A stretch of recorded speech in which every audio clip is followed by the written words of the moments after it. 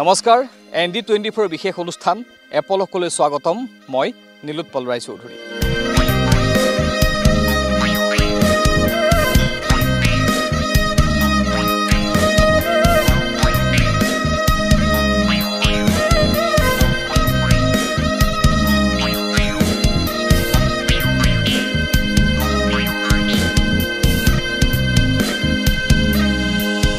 আজি এপলকৰ বিষয় হৈছে এগৰাকী কণমানি নাম চুলবুলি। বাৰ বছৰীয়া কিশোৰী চুলবুলিৰ সম্পৰ্ক আছে ভাৰতৰ স্বাধীনতা আন্দোলনৰ সৈতে।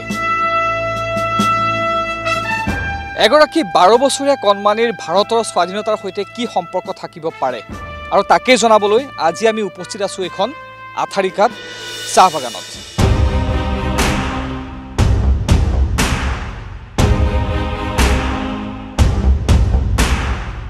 কাইলৈ পোন্ধৰ আগষ্ট আৰু সমগ্ৰ দেশে উদযাপন কৰিব স্বাধীনতা দিৱস। স্বাধীনতা দিৱস উপলক্ষে ইতিমধ্যে চৰকাৰেও বিভিন্ন কাৰ্যসূচী হাতত লৈছে বিশেষকৈ ঘৰে ঘৰে ত্ৰিৰংগ অথবা হৰ ঘৰ তিৰংগা। এই ধৰণৰ কাৰ্যসূচী হাতত লোৱা হৈছে।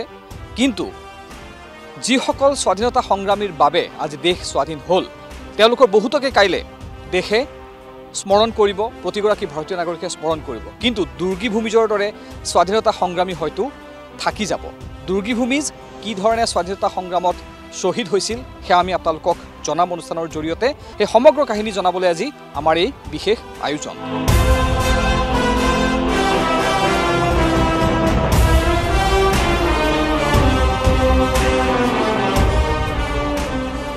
মোৰ সৈতে আছে কণমানি চুলবুলি। এইগৰাকী হৈছে চুলবুলি যাক লৈ আজি আমি অনুষ্ঠান কৰিছোঁ। চুলবুলি কি খবৰ? ভাল। ভালে আছা? এগৰাকী হৈছে কণমানি চুলবুলি। যদি ভালদৰে মন কৰে তাইৰ চকু জুৰি লৈ চাওক হাইলাখ ব্ৰিটিছৰ দৰে চুলবুলিৰ চকু। চুলবুলিৰ মুখখনলৈ ভালদৰে মন কৰক। ব্ৰিটিছৰ দৰে এক মুখাৱয়ব চুলবুলিৰ যেনে এংলো ইণ্ডিয়ান। আৰু হয় এক এংলো ইণ্ডিয়ান তেজে আছে চুলবুলিৰ দেহত। আৰু চুলবুলিয়ে কি ধৰণে ভাৰতৰ স্বাধীনতা স্বাক্ষৰ বহন কৰিছে সেই কাহিনী সেই কাহিনী আমি আপোনালোকক জনাবলৈ আজি অনুষ্ঠানৰ আয়োজন কৰিছোঁ এইখন আঠাৰিখাত চাহ বাগিচাত। আৰু চুলবুলিক লৈ আমি কিয় অনুষ্ঠান কৰিছোঁ? চুলবুলিৰ কি সম্পৰ্ক আছে ভাৰতৰ স্বাধীনতা সংগ্ৰাম তথা ভাৰতৰ স্বাধীনতাৰ সৈতে? সেয়া ক'বলৈ হ'লে আমি যাব লাগিব আজিৰ পৰা প্ৰায় ডেৰশ বছৰ পূৰ্বলৈ। এইখন হৈছে আঠাৰিখাত চাহ বাগিচা। এইখন বাগিচাত এটা সময়ত বৰ চাহাব হিচাপে কৰ্মৰত আছিল ব্ৰিটিছ চাহাব ফ্ৰেজাৰ অৰ্থাৎ যাক জনা যায় জে আৰ ফ্ৰেজাৰ হিচাপে। আৰু ফ্ৰেজাৰ চাহাব যেতিয়া ইয়াত মেনেজাৰ হিচাপে আছিল এই ফ্ৰেজাৰ চাহাবৰ বাংলত কাম কৰিছিল দুৰ্গী ভূমিজ নামৰ এগৰাকী মহিলাই। আৰু দুৰ্গী ভূমিজৰ সৈতে ফ্ৰেজাৰ চাহাবৰ হৈছিল অবৈধ প্ৰণয় যি প্ৰণয়ৰ ফলত জন্ম হৈছিল দুৰ্গী ভূমিজ আৰু ফ্ৰেজাৰৰ ঔৰসত তিনিটাকৈ সন্তানৰ লৱ কুশ আৰু বেবী। লৱ কুশ থাকি গ'ল অসমত কিন্তু বেবীক লৈ ফ্ৰেজাৰ চাহাব দুৰ্গী ভূমিজক অসমত এৰি থৈ গুচি গ'ল ইংলেণ্ডলৈ। দুৰ্গী ভূমিজক এইখন চাহ বাগিচাত আঠাৰিখাত চাহ বাগিচাত এৰি থৈ যোৱাৰ পিছত ৰোগত আক্ৰান্ত হৈ দুৰ্গীৰ এটি সন্তান দুৰ্গীৰ তথা ফ্ৰেজাৰ চাহাবৰ এটি সন্তান কুশৰ মৃত্যু হয় থাকি গ'ল লৱ আৰু লৱই বিবাহ কৰে সাবিত্ৰী নামৰ এগৰাকী যুৱতীক। সাবিত্ৰী আৰু লৱৰ সন্তান বীণা। আৰু বীণাৰ সন্তান আছিল পাৰ্বতী। আৰু পাৰ্বতীৰ সন্তান এগৰাকী চুলবুলি। আৰু আপোনালোকে নিশ্চয় এতিয়া সেই যোগসূত্ৰ বিচাৰি পাইছে কিদৰে ভাৰতৰ স্বাধীনতা তথা ভাৰতৰ স্বাধীনতা সংগ্ৰামৰ সৈতে এগৰাকী চুলবুলিৰ সম্পৰ্ক আছে।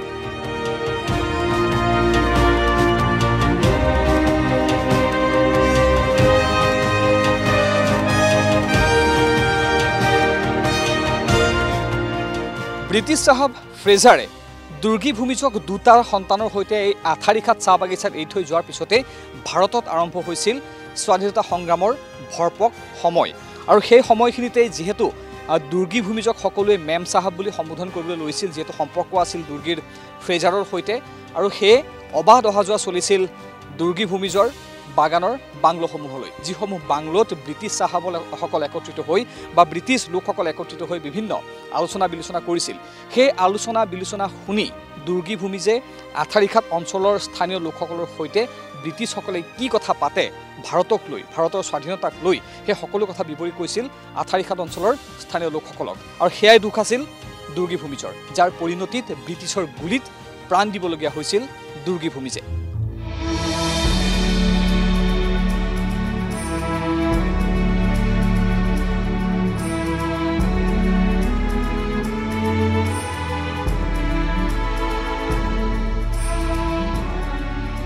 দুৰ্গী ভূমিজৰ সেই ইতিহাস সম্পৰ্কে জানিম।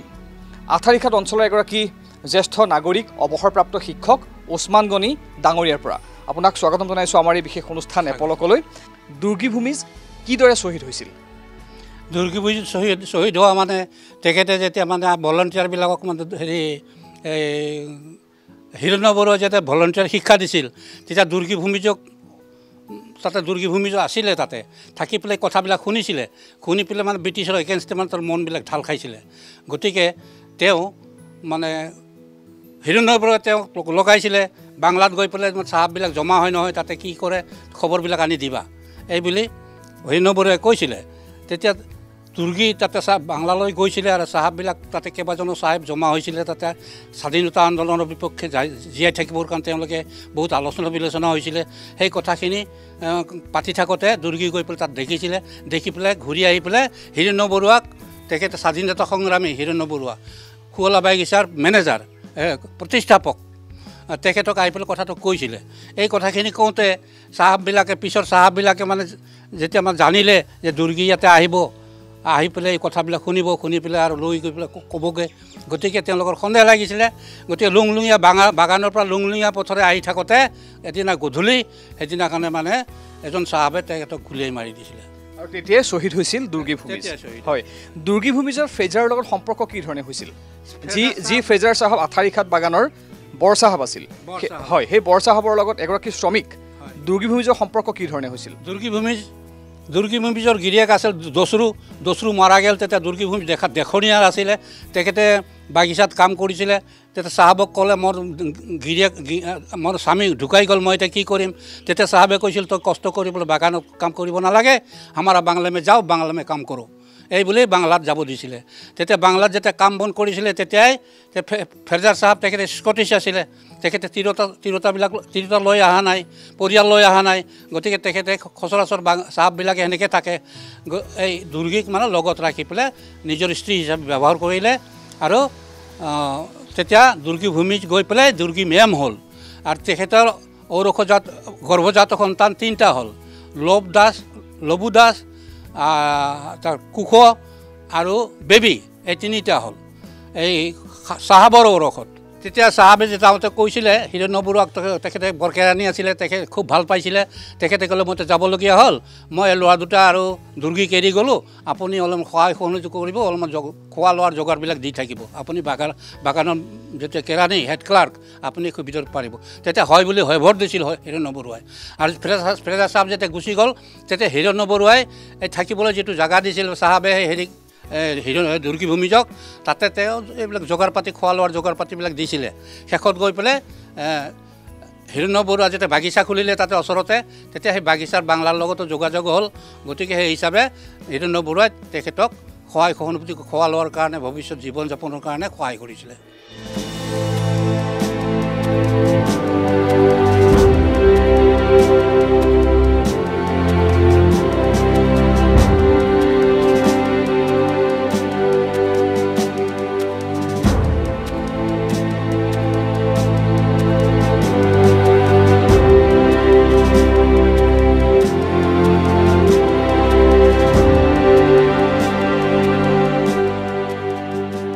ভাৰতৰ স্বাধীনতা সংগ্ৰামত প্ৰাণ আহুতি দিয়া চাহ জনগোষ্ঠীয় অন্যতম শ্বহীদ দুৰ্গী ভূমিজৰ পৰিণাতি দুৰ্গী ভূমিজৰ উত্তৰসূৰী এগৰাকী চুলবুলি বৰ্তমান আঠাৰিখাত অঞ্চলৰ নাওবান্ধা গাঁৱত ওচমান গনিৰ বাসগৃহত তেওঁলোকৰ পৰিয়ালৰ তত্বাৱধানত স্থানীয় বিদ্যালয়ত শিক্ষা গ্ৰহণ কৰি আছে চুলবুলিয়ে কিন্তু ইয়াৰ পূৰ্বলৈ চুলবুলিৰ যি জীৱন সেয়া আছিল অতি দুৰ্বিষহ।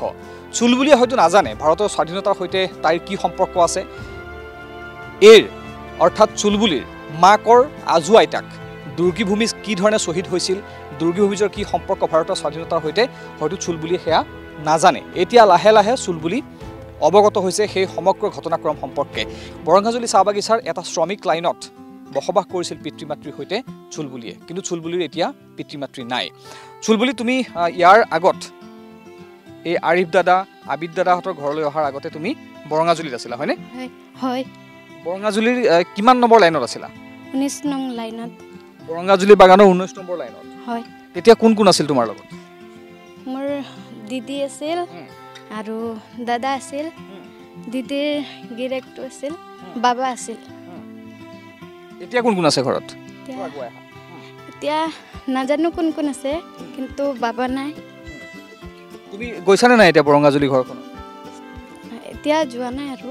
কিমান বছৰ হ'ল নোযোৱা? দুবছৰ কিন্তু আটাইতকৈ যিটো ডাঙৰ কথা আজি যে আমি তোমাক টিভিত এই ধৰণে উলিয়াই আমি অনুষ্ঠান কৰিছোঁ তুমিতো নিশ্চয় গম পাইছা যে কিয় কৰিছোঁ আমি? তোমাৰ মাৰ আজু আইতা দুৰ্গী ভূমিজ নাম শুনিছানে তুমি? শুনিছোঁ।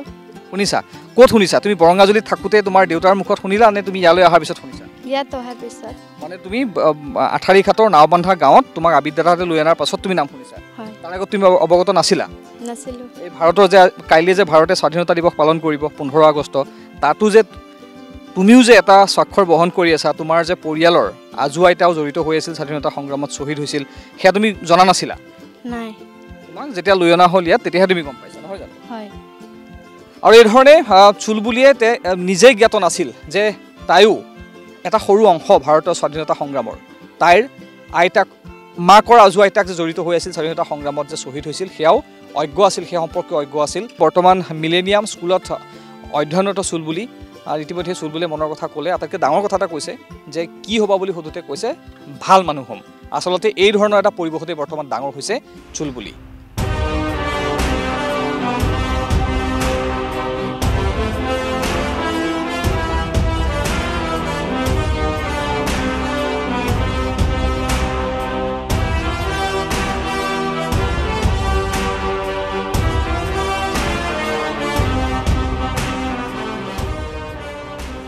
ভাৰতৰ স্বাধীনতা সংগ্ৰামৰ অন্যতম এক স্বাক্ষৰ বহি বহন কৰি থকা চুলবুলি এতিয়া যাৰ তত্বাৱধানত শিক্ষা গ্ৰহণ কৰি আছে যাৰ তত্বাৱধানত চুলবুলি বৰ্তমান বসবাস কৰি আছে আঠাৰীঘাটৰ নাওবান্ধা গাঁৱৰ ওচমান গণি ডাঙৰীয়াৰ ঘৰত আছে আৰু তেখেতৰ পুত্ৰ কামাল আজাদ মোৰ সৈতে আছে। আপোনাক স্বাগতম অনুষ্ঠান এপলকলৈ। নমস্কাৰ।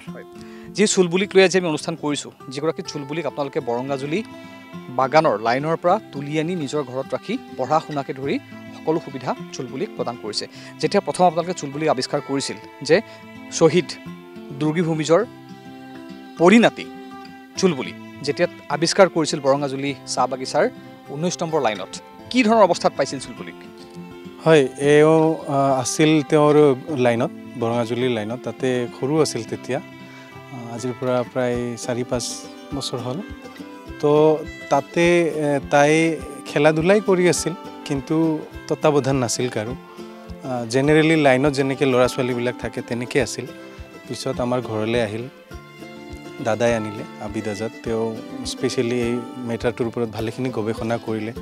দেৱব্ৰত শৰ্মা ছাৰ আছে ইয়াৰ বেকত তেনেকৈ গৱেষণা গৱেষণা কৰাৰ পিছত দাদাই লৈ আহিলে মাক লৈ গৈ পেলাই লৈ আহিলে সি।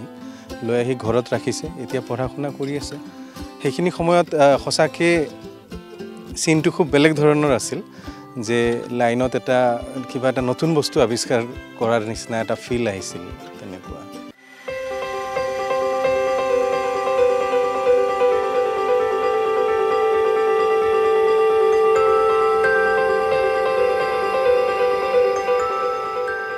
চুৱালা বাগানৰ এডাল আহঁত গছৰ তলত বৰ্তমান থিয় হৈ আছোঁ।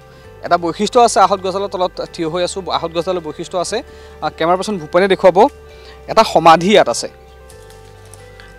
বৰ্তমান আহঁত গছৰ শিপাৰে ঢাক খাই গৈছে সমাধিটো। এইটো এটা সমাধি। এই সমগ্ৰ গছডালৰ তলতে আছিল সমাধিটো। তাৰ পাছত সমাধিটো ঢাক খাই গৈছে গছৰ শিপাৰ দ্বাৰা। আৰু এই সমাধিটোৱে হৈছে হিৰণ্য বৰুৱাৰ সমাধি। যি হিৰণ্য বৰুৱাৰ নাম আমি লৈছিলোঁ কিছু সময় পূৰ্বে। এগৰাকী লোক আছে মোৰ সৈতে। এখেত শুৱালা বাগানৰেই এগৰাকী জ্যেষ্ঠ নাগৰিক। আপোনাৰ নাম? তিনটুচ কুজুৰ। তিনটুচ কুজুৰ। আপুনি হিৰণ্য বৰুৱাক আহ, পাইছিলনে নে নাই পোৱা? নাই পোৱা। নাই পোৱা। যদি তেখেতৰ কথা আপুনি শুনিছে জানে আপুনি। কিমান কি হিচাপে জানে? ই ই প্ৰথমত আঁতৰি ঘাটৰ হৈ যে জামদাৰ আছিল। তাৰপিছত যেতিয়া নেকি ব্ৰিটিছ চাহেববিলাক আছিল তাৰ পৰা পুলি আনি পুলি আনি পেলাই ইয়াতে লগাইছিল লেবাৰটো মনে মনে আছিল তাৰপিছত প্ৰথমতে ঊনৈছশ চৌব্বিছ চনত এক নম্বৰ বাগানটো প্লান্টিং কৰিল। তাৰপিছত সি সি পিছত ঘৰখন ইয়াতে বনাইছে।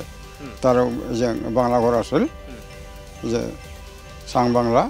তাৰপিছত সি মানে কি ইয়াতে থাকিব আৰু আৰু চুইমিং পুলবোৰ আছিল ইয়াতে মানে কি এতিয়া পোতা গৈছে তো এনেকুৱা কৰি কৰি সি বাগান আৰু তাৰ ছোৱালী এজনে বুলি আমি জানিছিলোঁ আমি আৰু আপুনি বিনাৰ নাতিনীয়েকক চিনি পায়নে চুলবুলি? চুল বুলি মই নাজানো আমি অনুষ্ঠান কৰিছোঁ চুলবুলি আছে আমাৰ সৈতে। আৰু আপুনি যাৰ লগত পঢ়িছিলে বিনা সেই বিনাৰেই এগৰাকী নাতি চুলবুলি অঁ, তেনেহ'লে মোৰো নাতিনী হ'ব এইটো। আপোনাৰ নাতিনী? অঁ অঁ অঁ অঁ হ'ব এইটোৱে আজি অনুষ্ঠান কৰিছোঁ। অঁ ঠিক আছে তেনেহ'লে মই পাই ভাল লাগিল মোক। তেনেকৈ আমাৰ লগত মিলেনে মুখখন? হ, মিলে একজেক্ট মিলে। কি কি কেনেকুৱা? যিমানকৈ নহয় তাৰ চেহেৰা মুখখন একে। এনেকৈ আছিল মাক হা। বিনা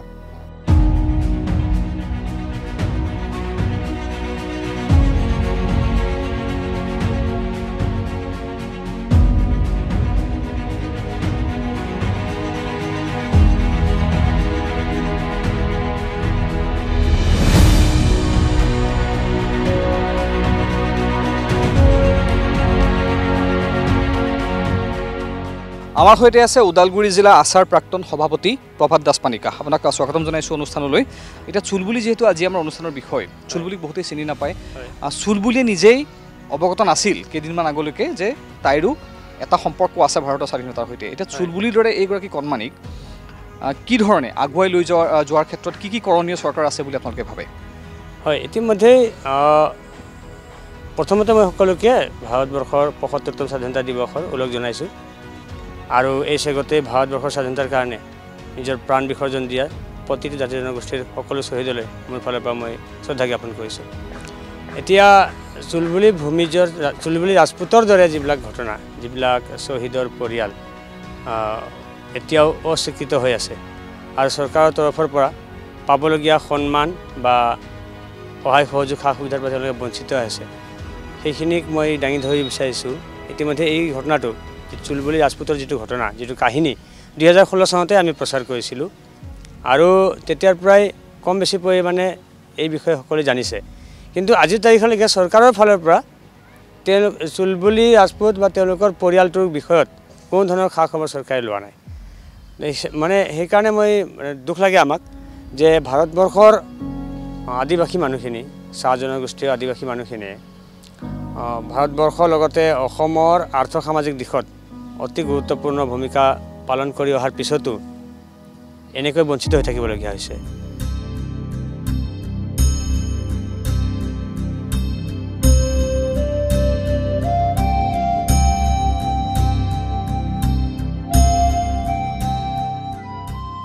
শ্বহীদ দুৰ্গী ভূমিজ লগতে চুলবুলি। এই দুয়োগৰাকীৰ জীৱন কথা জীৱন কাহিনী প্ৰচাৰ আৰু প্ৰসাৰৰ বাবে চৰকাৰে কি ব্যৱস্থা গ্ৰহণ কৰিছে তাক লৈ প্ৰশ্ন উত্থাপন কৰিছে প্ৰায়েই আদিবাসী সমাজে। এই জনগোষ্ঠীটোৰ এগৰাকী সৰব নাগৰিক তথা যুৱ প্ৰজন্মৰ এগৰাকী প্ৰতিনিধি ৰঞ্জিত তাঁতী আমাৰ সৈতে আছে। এই দুৰ্গী ভূমিজ চুলবুলিক প্ৰসাৰ প্ৰসাৰৰ প্ৰসাৰ আৰু প্ৰচাৰৰ ক্ষেত্ৰত চৰকাৰে যিধৰণে ব্যৱস্থা গ্ৰহণ কৰিব লাগিছিলে সেই ধৰণে ব্যৱস্থা গ্ৰহণ কৰা বুলি আপোনাৰ মনে ধৰেনে? যদিহে কৰা নাই চৰকাৰক আপুনি কি আহ্বান জনাব? মই ভাবোঁ যিমান যি ধৰণে প্ৰসাৰ আৰু প্ৰচাৰ হ'ব লাগিছিলে সেই ধৰণে হোৱা নাই। আৰু মই ভাবোঁ কি অসম চৰকাৰ তথা বি টি চি চৰকাৰে এই ক্ষেত্ৰত অলপ গুৰুত্ব দিব লাগে। আৰু সকলোৱে যাতে এই দুৰ্গী ভূমিজ তথা চুলবুলি বিষয়ে গম পাব লাগে আৰু অলপ গৱেষণা কৰিব লাগে। আৰু অসম চৰকাৰ তথা বি টি চি চৰকাৰে অলপ গুৰুত্ব দিব লাগে মই ভাবোঁ। যাতে মানুহ গম পাওক মানুহ আহ, খিনি জানক যে আমাৰ এইটো অঞ্চলৰ পৰাও যে এনেকুৱা মানে পাহৰি পাহৰি যোৱা এগৰাকী মহিলা আছিলে আমাৰ এইটো সমাজৰ পৰা শ্বহীদ। তো গতিকে মই ভাবোঁ কি এইখিনিত চৰকাৰৰ দায়িত্ব আছে।